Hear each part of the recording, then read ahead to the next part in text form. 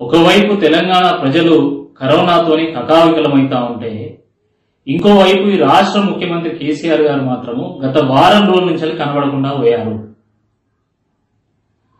దేశంలో Telangana number one Telangana number one అంటే అదేందో అనుకున్నాము. ఈరోజు నిజంగానే తెలంగాణ నెంబర్ వన్గా మిగిలిపోయింది. దేంట్లో అంటే అది కరోనాలో. దేశంలో ఈరోజు హైయెస్ట్ పాజిటివిటీ రేటు ఏ స్టేట్లో ఉంది అంటే అది తెలంగాణలో ఉంది.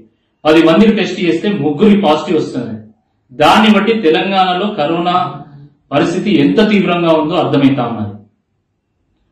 టెస్టులు చేయమని తిరిగితే మూడు రోజుల పాటు నిరీక్షించిన ఏడెనిమిది సెంటర్లు జరిగినా కూడా ఈరోజు టెస్టులు చేయనటువంటి ఒక దౌర్భాగ్య పరిస్థితి తెలంగాణలో ఉంది.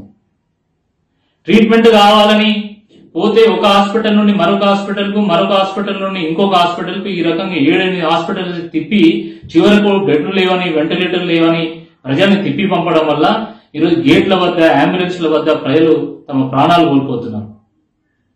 ఇంత జరుగుతుంటే ముఖ్యమంత్రిగా బాధ్యత తీసుకొని రివ్యూ పెట్టాల్సింది పోయి ఈరోజు ఆయన కనబడకుండా పోయారు మంత్రివర్గ సమావేశం ఏర్పాటు చేస్తామన్నారు. కానీ ముఖ్యమంత్రి ఎక్కడ పోయాడో ఈ మంత్రులు ఎక్కడ పోయారో అర్థం కానటువంటి ఒక పరిస్థితి. అసలు ముఖ్యమంత్రి గారికి చిత్తశుద్ధి లేదా? లేకపోతే ఆయన శాపమే తిరిగి ఆయన శాపంగా మారిందో ఒకసారి స్పష్టం చేయాల్సినటువంటి అవసరం ఉంది. పోనీ షాడో సీఎం గా ఉన్నటువంటి కేటీఆర్ గారు ట్విట్టర్ పిట్ అయినటువంటి కేటీఆర్ గారు అయినా బయటికి వచ్చి కనీసము స్పందిస్తారంటే ఆయన కూడా స్పందించకుండా పోయింది సోషల్ మీడియాలో ఈరోజు అనేకమైనటువంటి టెస్టిమోనియల్స్ వస్తున్నాయి. మీ ప్రభుత్వం ఎంత అద్భుతంగా పనిచేస్తున్నది కరోనాని ఎంత అద్భుతంగా మీరు కట్టడి చేస్తున్నారో బాధితులు చెప్తున్నారు. అయినా కూడా కేటీఆర్ గారు స్పందించారు. కానీ వందల వేల మందితో మాత్రం జిల్లాలలో సభలు పెడతాడు సమావేశాలు పెడతాడు కరోనా వ్యాప్తికి కారణమవుతాడు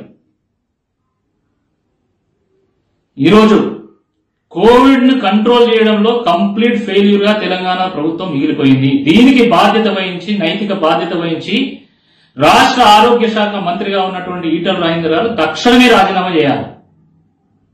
హైదరాబాద్లో లాక్డౌన్ విధిస్తాం లాక్డౌన్ విధించాల్సింది హైదరాబాద్లో కాదు లాక్డౌన్ విధించాల్సింది సీఎం ఫామ్ హౌస్కి అప్పుడే వారు బయటకు వచ్చి ప్రజలకు భరోసా కల్పిస్తారు. బుద్ధుండాలి కనీసం. ఏం చేస్తున్నారు మీరు? కాబట్టి భారతీయ జనతా పార్టీ ఈరోజు ఈ రాష్ట్ర ప్రభుత్వం ముందు స్పష్టమైనటువంటి డిమాండ్స్ పెడుతున్నది. మొదటిది టెస్టింగ్ ఫర్ ఆల్ ప్రతి ఒక్కరికి టెస్ట్ చేయండి. రెండవది కేవలం హైదరాబాద్లోనే కాక అన్ని పాత జిల్లా కేంద్రాల్లో మీరు కోవిడ్ హాస్పిటల్స్ను ప్రకటించండి తగిన సదుపాయాలను క్రియేట్ చేయండి. మూడవది గవర్నమెంట్ సభల పేరు మీద వందల వేలాది మందిని జమ చేసి మీరు సమావేశాలు పెట్టడం మానేయండి. నాలుగవది కోవిడ్ని ఆరోగ్యశ్రీలో చేర్చండి లేదా ఆయుష్మాన్ భారత్ని తెలంగాణలో ఇంప్లిమెంట్ చేయండి. ఐదవది ప్రజల్లో మీరు ఒక భరోసా కల్పించేటువంటి ఒక ప్రయత్నం చేయండి. ఈ రకంగా కరోనా నుండి తెలంగాణను కాపాడాల్సిందిగా మేము కోరుతున్నాము.